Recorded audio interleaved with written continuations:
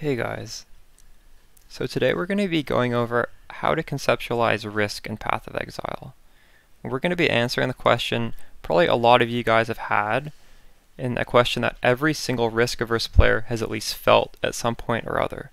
The question is, how many repetitions will I have to make until I can be very confident that I will have hit my desired outcome at least once? Now, Path of Exile down to its nuts and bolts is essentially nothing more than a glorified slot machine. And it's going to be throwing at us all these different probabilities and odds, but they can all be solved with the same formula. And if you can solve these problems, it will help you conceptualize the game in a new way. So we're going to be going over the math behind this equation that basically works for literally everything that Path of Exile will throw at us. And it's right here. Um, there's three inputs. There's P. Your P is the odds of failing the RNG roll in question. So it's the odds of getting the bad outcome. And then N is what we're trying to solve for. It's the number of repetitions we need to repeat in order to be very, very confident that we will succeed in whatever this uh, scenario is at least one time. We'll succeed at least once. And CI is the confidence interval. Um, generally, 95% confidence interval is pretty standard in statistics. So we're just plugging in 0.05 there. Like that's just a fixed number. Um, technically, if you're extremely risk averse, you could use a 99% confidence interval and then you would change this to 0.01. But I wouldn't do that. I would just stick with what's standard. Uh, 95 confidence interval is still very, very confident. So I could go into explaining this conceptually, but I don't think most of you guys would want to hear that. So I'm just going to go straight into examples. I might make like a, another video explaining this, but then again, I'm not even, like I didn't even study math. Uh, I studied business. This is, like, I remember this in high school. I, I failed this course, but like, as I've grown older, I've gotten more interest in this, especially because of Path of Exile, so I understand this now, but like, you don't really have to. Like, let's just get into examples, get the ball rolling so you guys can see this uh, equation in action. So the first example you guys will be familiar with if you're playing Toxic Rain or Tornado Shot uh, Corrupting Fever, which were the two biggest league starters this league. So that's why we're going to go with this example to lead things off. And it is the first step towards the metacrafted bow we all made. So what we had to do was um, alt spam for a specific mod. Maybe it was chaos dot multi or attack speed or whatever. And then you needed to regal it and then annul it back down to only the one mod.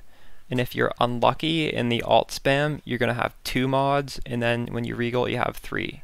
So our chances of annulling both and succeeding are 1 out of 3 in this scenario, so the failure chance is 2 out of 3. So now let's see how many times will we have to repeat this process until we can be very confident that we will hit the desired outcome of isolating the alt spam mod we want by itself. So let's pull up the Windows calculator. It starts in standard mode, but you need to set it to scientific for this. So the first part, we take the log of 0.05. So to do that, you do 0.05, then you press the log button. And now we want to divide it by the bottom. So we divide it by, now what is P? Bracket 2 thirds. Close the bracket, log. So that's our equation. The way we type that that's how you get log of 0.05 divided by log of 2 thirds. Now what does this give us? 7.38.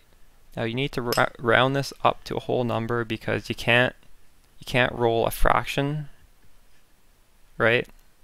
Like like you can't do a fraction of a repetition, so it's 8. So once you do this 8 times, you can be extremely confident one of those 8 times will have resulted in a success. It doesn't mean the 8th time, like on average, it will be the third time, or it will, um, yeah, I don't know about that, but not on average it'll be the third time, but on average it will be one of the first three times, but it will be very, uh, very unlikely to take more than eight tries. So that's what we can get from this, which isn't so obvious. Like, would you know in your head it it would take up to eight tries? Like, it will very almost never take nine tries, but it can take up to eight tries.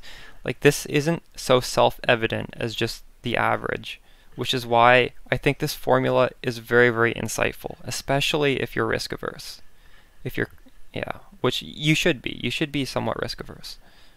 All right, let's go to the next scenario. This is a scenario that can be relatable to literally everybody who plays the game, which is getting a six link with fusings. the question is, how many fusings will we have to hit before we get at least one six link? So we can assume the odds are about 1 in 1,000 for getting a six link. So we need to calculate P, which is the chance of failure. So that would be 999 times out of a 1,000 we fail. So let's pull up the calculator again. Take the 0.05 log divided by bracket 999 out of 1000. Close bracket, log. Now press the equal sign. The answer is 2,994. So what did this mean? n needs to be greater than 2,994. This means if you're rolling for a 6 link, it is extremely unlikely that you will not hit at least one after spending 2,994. Now, maybe you don't feel so bad when you've spammed well over a thousand and you still haven't hit it. Actually, probably you, you still feel bad. But this means it can take up to 2,994 fusings until you get your first six link. Like we've all hit fuse, we've all hit six links way faster than 1,000. But if you're really unlucky, you can get up this high. What this also means is it will almost never take more than this many fusings to hit your first six link. So there you go there's some insight on rolling six links. So if you're really risk averse, maybe that 1,500 benchcraft makes sense, even though on average it only takes 1 in 1,000. Because if you're very unlucky, it could take close to 2,994. It could take up to 2,994. So we've applied this to six links. Now let's apply it to something else. Now this one I calculated specifically for me because I was running lab to try and get the implicit enemies withered by you have minus 6 all resistances on my headhunter and I wasn't getting it. It took me like 16 lab runs to get it and the odds are 1 in 16 but the thing was I was using twice enchanted so I like I think I used the font the blessing font or whatever it's called like 32 times before I got the the withered so I wanted to see like was I getting close to like the crazy amount that like is the threshold? So let's let's uh actually let's go over the math first. So failure would be um there's 15 there's 15 outcomes. They're all equal weighting. So your first blessing that you use, there's a 14 out of 15 chance that it doesn't hit the one you want. And if that fails, then there's a 14 out of 15 chance that your second one fails. So failure happens when both of them fail. So we multiply them together. That's how we calculate our failure rate. So P is 196 divided by 224. Let's plug that in. 0.05 log divided by bracket 196 out of 225 log. So 21.7, round that up to 22. So it only took me 16 tries, only took, but realistically it could take you up to 22 tries. Very rarely would it take 23 tries, but you could go up to 22 tries without getting the thing you wanted. So, uh, as bad as it felt that it took me so many tries, I like it could have taken me more and it still would have uh, been statistically uh, very believable. Alright, now on to the last example we're going to do, and also the most complicated one. This will be interesting for all you SSF players who need to corrupt your own corrupting blood jewel. So, to do this, we need to to uh, first there's the chance of failing to get any implicit on the vaal orb, which is three quarters of the time. Only one quarter of the time do you get the outcome where you get a vaal implicit. So that's the first part of it, but it gets a little bit more complicated because even if you get a vaal implicit, you still need to hit corrupting blood.